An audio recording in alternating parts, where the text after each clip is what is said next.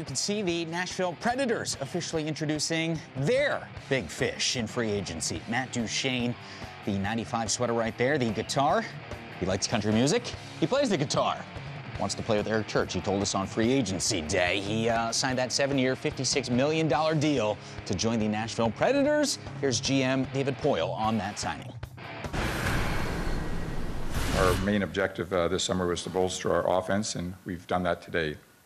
Uh, Matt Duchene is a player that we have liked for a long, long time, uh, but whether it's through deals that he went to Ottawa or Columbus, we just were not able to acquire him, but we have today. As we know, he's a big country fan. He's very passionate about our city, and I think uh, those things obviously make a, a, good fit even a better fit. Matt's coming off his best season. He scored 31 goals, 70 points. That would have made him the Predators' leading scorer last year. The game, as we see it now, is getting faster and faster. Duchene is clearly one of the most explosive uh, centers in the league. Talking to him, he's very happy that he scored 31 goals, but he thinks he's equally, if not better, as a, as a playmaker. I mean, I don't know who out there other than maybe Panarin or something would be a guy that could have, could add more more goals or more points or help our power play as much as Matt Duchene. And clearly, uh, uh, I mean, right now looking at a uh, you know have competition in our, our team at all positions and depth on our team at all positions. But it was it feels to me right now based on the signing and where we are that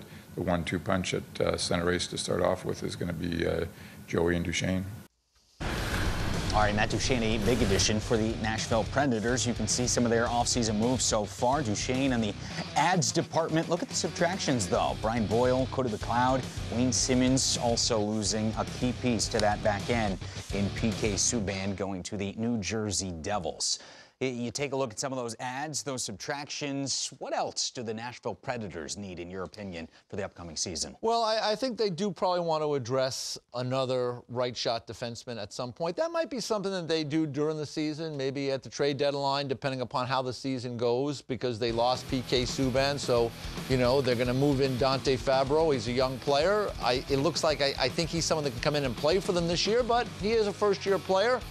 You've got, uh, you know, Weber back there as well as a, a, third pair right shot guy. There's a couple of guys out there. Maybe you get a, a, like a Ben Lovejoy or a Danny Girardi that you could bring in as an experienced guy uh, that you wouldn't have to pay too much money. If you don't want a left-hand shot, pay a little more. Maybe a Ben Hutton still out there on the marketplace. So that might be an area just to add a little bit to. But uh, they've really bolstered their offense with Duchene. They want to get that power play better. I mean, it killed them all season long, and it really killed them in that first round matchup against the Dallas Stars. They just couldn't get going on the power play. But look at that lineup down the middle with Johansen, Duchene, Turris, and Bonino.